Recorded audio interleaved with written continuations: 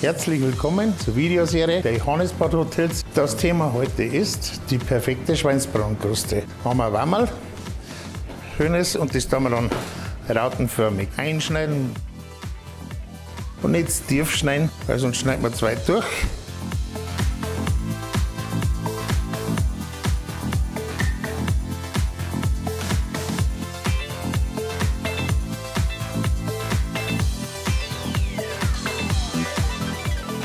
So, dann werden wir das einwürzen mit Salz, Pfeffer und Kümmel.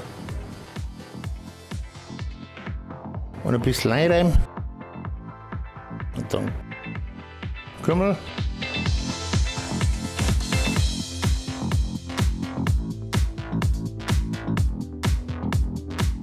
Und dann haben wir noch eine Schwitter, schöne. Da wir dann rautenförmig einschneiden. Nicht zu tief, dass wir noch eine schöne Kruste kriegen.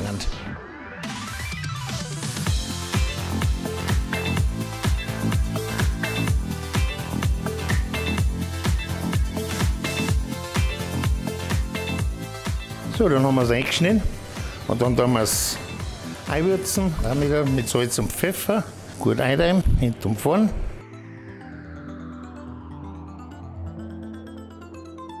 Und dann Kümmel. So, dann haben wir es eingewürzt. Dann lassen wir es noch ein bisschen ruhen.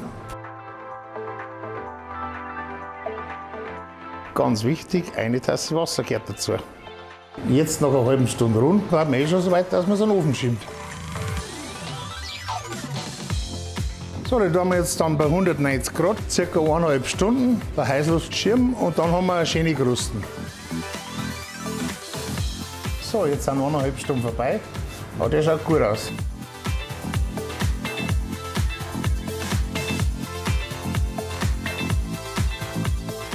Der Schweinsbraten ist fertig.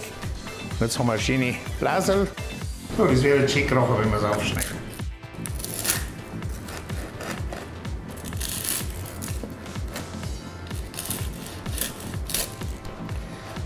Das ist die perfekte Kruste. Lasst es euch schmecken.